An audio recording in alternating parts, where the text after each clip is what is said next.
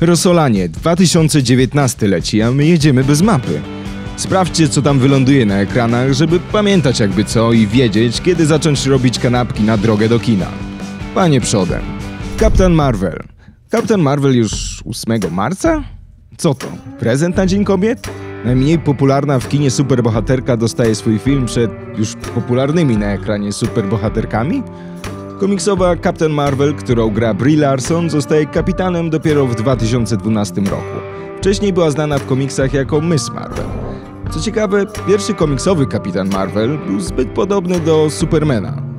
DC sądziło się z Fawcett, a z czasem wydawcy Batmana przejęli prawa do Czerwonego Supermana z piorunem na klacie.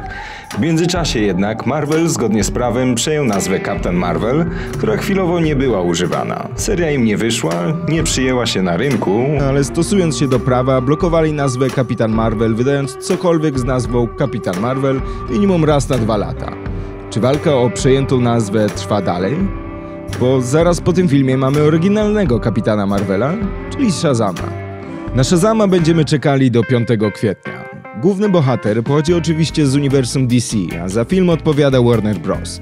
Ciekawy jest wybór reżysera. David F. Sandberg ma w swoim dorobku dwa krótkie horrory: Lights Out i Attic Panic, które są całkiem bekowe i wystąpił w nich sam ze swoją żoną. Oraz dwa pełnometrażowe horrory: Annabelle, Narodziny Zła i Kiedy gasną światła, z których żadnego nie oglądałem. Sądząc jednak po tych krótkometrażówkach, koleś ma poczucie humoru i widać, że nie potrzebuje dużego budżetu, żeby zrealizować swoją wizję. Chociaż z tego co znalazłem w necie, na Shazama przeznaczono coś pomiędzy 80 a 90 milionów dolców, także można już coś z tego poszaleć. Dla porównania, pierwsza część Deadpoola kosztowała 58 milionów dolarów. Za scenariusz odpowiada Henry Gayden, który również ma mały dorobek i najbardziej znany jest z e, Ziemia wzywa echo. Filmu nie widziałem, ale internet mówi, że to taka przygodówka science fiction. Jeśli ktoś z Was oglądał, to dajcie znać w komciach, czy fajne. Główną twarzą filmu jest oczywiście Shazam w swojej dorosłej formie, którego zagra Zachary Levi. Może kojarzycie go z torów, gdzie w utlenionych włosach wcielił się Fandrala. Sorry Zachary, ale jakoś się nie zapamiętałem. Aktor jest najbardziej znany z roli tytułowego Chucka, czyli komputerowca, który zostaje super szpiegiem, współpracuje z CIA i zamyka złoli za kratami. Sorry Zachary, ale nie oglądałem. A wy to znacie, Rosolanie?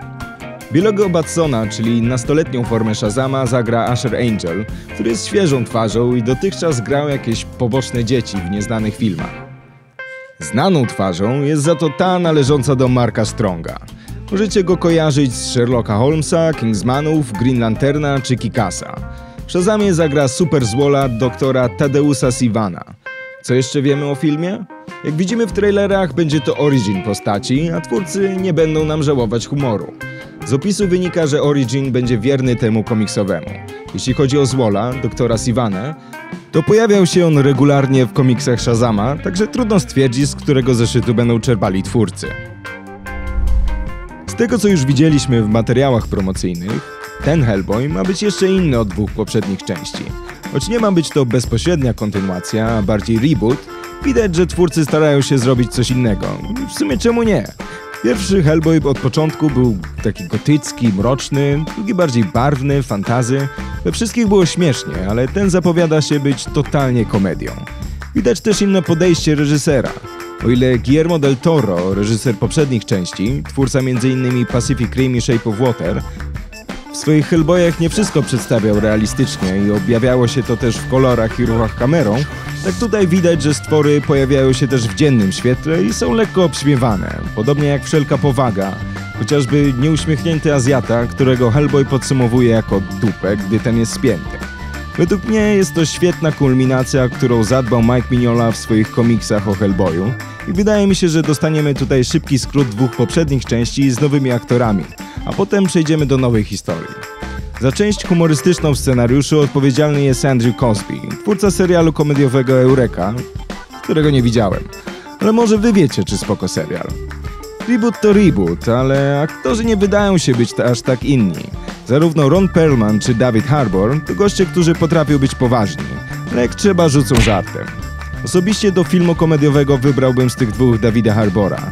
Wydaje mi się obecnie przyjemniejszy dla publiczności, która zna go z roli dobrego szeryfa w Stranger Things. Hellboy wjeżdża już 12 kwietnia, czyli przed Endgame. Ale o tym filmie na koniec, bo teraz czas na Dark Phoenix, który będzie do kin 7 czerwca. Chyba. Fox już raz przesuwał datę premiery na jakieś dokrętki. A teraz wiadomo, Fox kręci z Disneyem, także nie wiem czego możemy się spodziewać. Phoenix będzie 13 filmem o X-Menach, czwartym jeżeli bierzemy pod uwagę odmłodzenie obsady.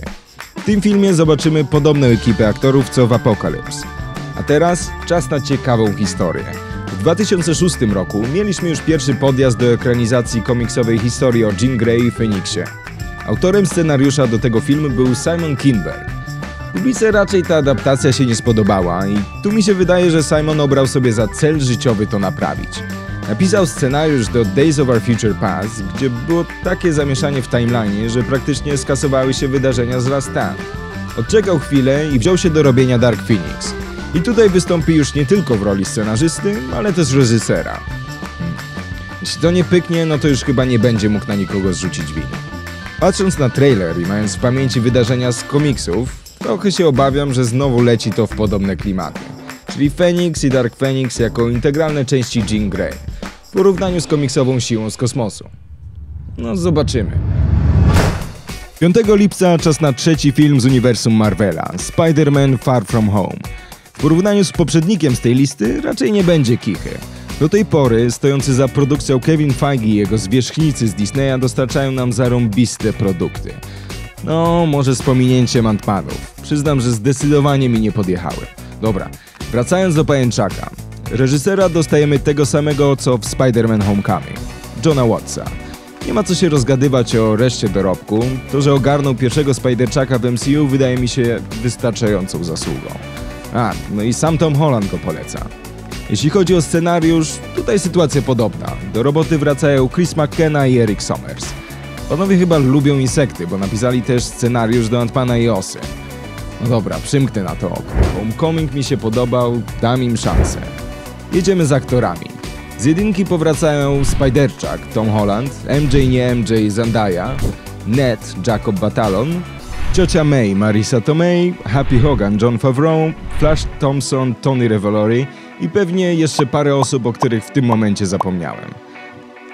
Znana nam ekipa z pajęczakiem na czele udaje się w podróż po Europie, która, jak widzimy w trailerze, kończy się pojawieniem elementali i Nika Furego, który zgarnia Spiderczaka do pomocy. I chyba tego mu za mało, bo zaprasza jeszcze niby speca od tych spraw Mysterio, Jake'a Gyllenhaala. Gościa chyba nie trzeba przedstawiać, no ale dla ciekawych. Tajemnica Brokeback Mountain, Donnie Darko, Jarhead, Miłość i inne używki to tylko niektóre hiciory, w których grał. Na koncie nie ma żadnych komiksowych produkcji, ale trafia się jedna na podstawie gry. Książę Persji Piaski Czasu. Mi się osobiście podobał. Co do samej jego roli w tym filmie, parę teorii o tym możecie zobaczyć w naszym odcinku po ludzku o Mysterio. Joker od Toda Phillipsa na bank będzie dobry, bo ten kolo udowodnił, że potrafi zrobić dobry film, robiąc Projekt X. Ci co widzieli ten film wiedzą. I wydaje mi się, że to taki kolo, że jak studiem będzie mu się wpierdzielać, to odejdzie od projektu. Takich lubimy. Do tego nad wszystkim stoi Martin Scorsese, znany tylko i wyłącznie z dobrych filmów. Filmie mamy zobaczyć historię powstania jednego z Jokerów.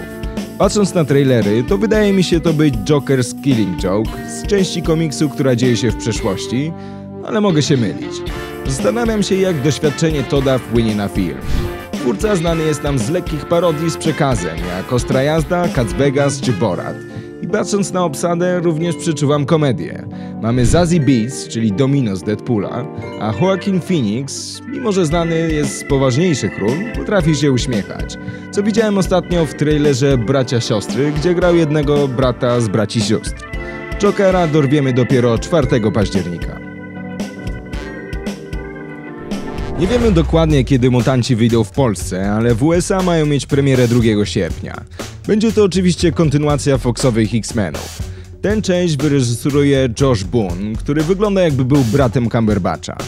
Dorobku ma Bez miłości ani słowa oraz Gwiazd naszych wina. No to klimat zapowiada się hmm, skliwie.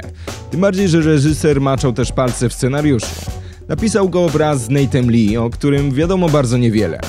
Mimo tych romansidłowych naleciałości głównego twórcy, trailer przedstawia nam dość mroczną wizję i oficjalnie ma być to horror science fiction. W obsadzie sporo popularnych twarzy. Casey ze Splitu jako Magik, Jonathan ze Stranger Things jako Cannonball, Arya z gry o Tron jako Wolfsbane, tego nie znam jako Sunspot i tej też nie znam jako Mirage. W obsadzie wylistowany jest też Antonio Banderas? Nie wiemy jednak w kogo się wcieli w tej produkcji, poza tym, że będzie z Wallem. W zeszłym roku pojawiły się pogłoski, że w filmie pojawi się Warlock zrobiony w pełni w CGI. W tym roku jednak temat umarł, a w obsadzie nie ma wzmianki chociażby o tym, kto miałby mu użyczyć głosu. Film oparto na istniejącym komiksowym teamie, również o nazwie New Mutants.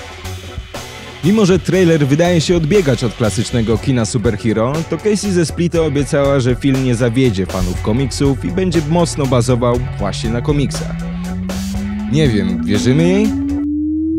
No i mamy jeszcze Spawna. Wiemy, że zagra w nim Jeremy Hawkeye Rainier i Jamie Electro Fox. Film ma być inny od ostatniego Spawna, który gdyby nie tragiczna końcówka w CGI byłby arcydziełem. Teraz mamy dostać horror, mroczny film, który będzie debiutem reżyserskim Toda, co wymyślił Spaghetti Web McFarlane'a.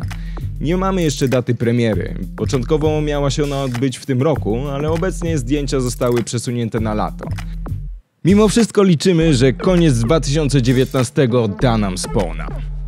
Został jeszcze jeden film przed nami, ale mamy też jeden za nami. Glass. Czy superbohaterowie są prawdziwi? Manuel Shyamalan wreszcie odpowiada. Albo i nie, na to pytanie. Dla jednych ten film był rozczarowaniem, dla innych był mega. A dla ciebie? Endgame, który pojawi się już 25 kwietnia. Czekamy na odkrętkę Snapa, a może nawet odkrętkę większej ilości wtop, których dopuścili się Avengersi w ostatnich latach. Wciąż przecież pozostało kilka niewyjaśnionych lub nieprzedstawionych na ekranie kwestii, jak chociażby wysłanie Halka w kosmos, ilu Asgardczyków i jacy przeżyli starcie z Thanosem. Czekamy na kolejny trailer. Póki co wszelkie inne zagadki i memy znajdziecie w naszych filmach, które macie tutaj. Dajcie znać w komentarzach, na który z filmów najbardziej czekacie, albo który według Was będzie najlepszy.